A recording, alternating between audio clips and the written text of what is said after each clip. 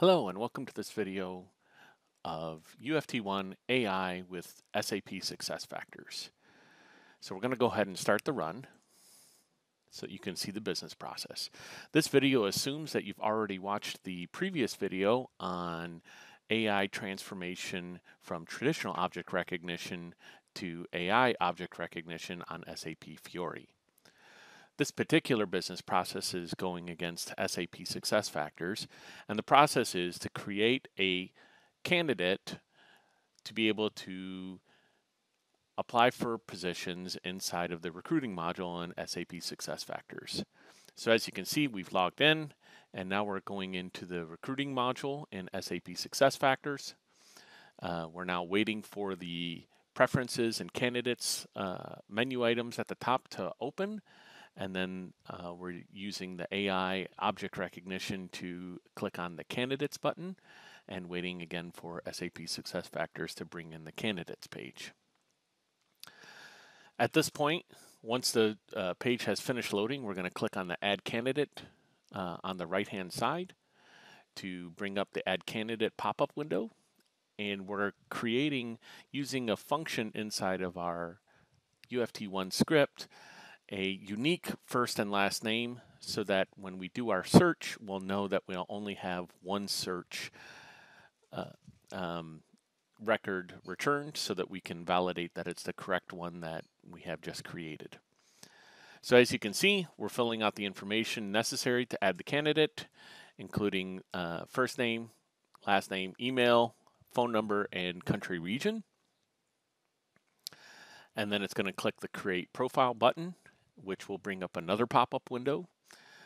Uh, that is the candidate window where you can upload a resume, you can uh, bring in internal uh, experience, you can set up what their salutation is. So in this particular case, what we're going to do is we're going to show how you could click on the add button for internal employment history.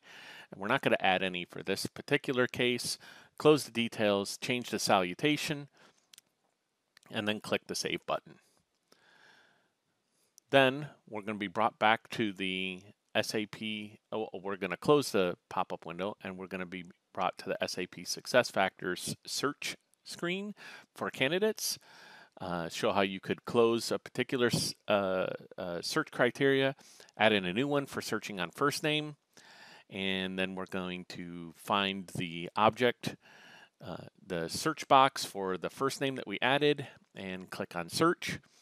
SAP SuccessFactors will do a pop-up window for making sure that you want to accept and see your search results for how many records you record you've searched for. So if you did some kind of blind query, you could refine that query before you're brought up uh, and retrieve you know, potentially thousands of records.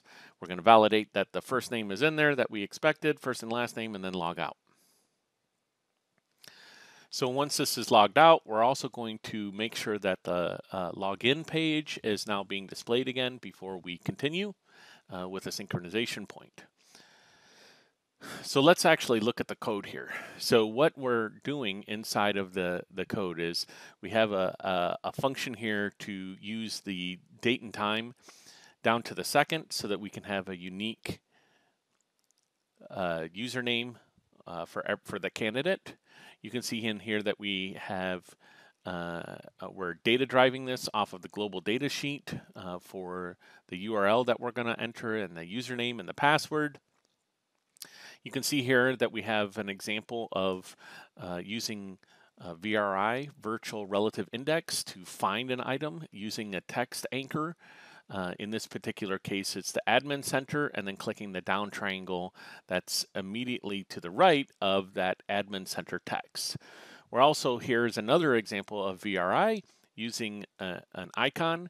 So instead of clicking on username, which the as you saw when we brought up the application, the contrast wasn't uh, very great. So sometimes the OCR is going to struggle with seeing that text on the screen because of uh, it's gray on gray. Um, uh, so what we did is uh, we're looking at the profile icon and then saying find the first uh, input field uh, to the right of that uh, icon. If we click on the uh, run results, you can see that our script run success ran successfully. With AI, you can see what field it's it's being acted upon inside of the run results with the screenshot capture that you have today.